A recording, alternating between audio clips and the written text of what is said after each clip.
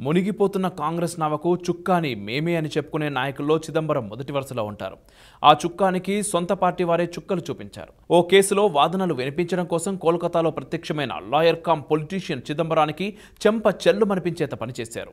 Court ప్రాంగణంలో సొంత party లాయర్ల నుంచి ఊహించని నిరసన ఎదురైంది. మెట్రో డైరీలో అవినీతి జరిగిందని ఆరోపిస్తూ బెంగాల్ కాంగ్రెస్ అధ్యక్షుడు అధిర్ రంజన్ చౌదరి కోర్టుకెక్కారు. అయితే బెంగాల్ ప్రభుత్వం తరపున వకాల్తా పుచ్చుకున్న చిదంబరం ఆ కేసులో వాదనలు వినిపించేందుకు కోర్టుకు హాజరయ్యారు. ఈ నేపథ్యంలో సొంత పార్టీకి వ్యతిరేకంగా కేసును ఒప్పుకున్న చిదంబరంపై కాంగ్రెస్ మద్దతుదారులైన న్యాయవాదులు ఆగ్రహం వ్యక్తం చేశారు. చిదంబరం ఓ బ్రోకర్ అంటూ తీవ్ర స్థాయిలో మండిపడ్డారు.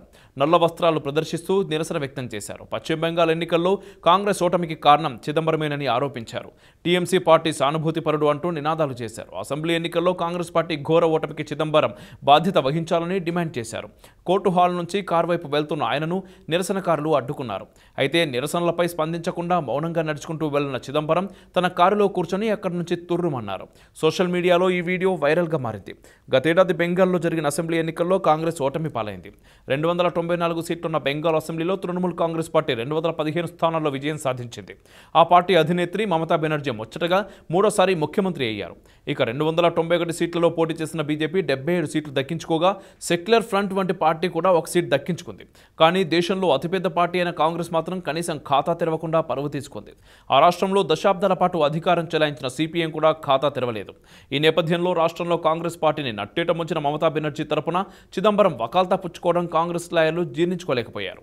దీంతో చిదంబరం కోర్టుకు వచ్చి రాగానే నిరసనకు దిగారు. చిదంబరం రాగానే గో బ్యాక్ అంటూ ఆయనకు వ్యతిరేకంగా నినాదాలు చేశారు. ఆయన కారును అడ్డుకునే ప్రయత్నం చేశారు. కాంగ్రెస్లో సీనియర్ నాయకుడై ఉండి పక్క పార్టీల కోసం ఎలా పనిచేస్తారని వారంతా ఆయనను చుట్టుముట్టారు. చిదంబరం టీఎంసీ మద్దతుదారుడని ఆయన లాంటి వారి వల్లే దేశంలో రాష్ట్రంలో కాంగ్రెస్ సంక్షోభంలో కొట్టుమిట్టాడుతోందని ఆరోపించారు. అయితే వారికి చిదంబరం మాత్రం ఎటువంటి సమాధానం చెప్పలేదు.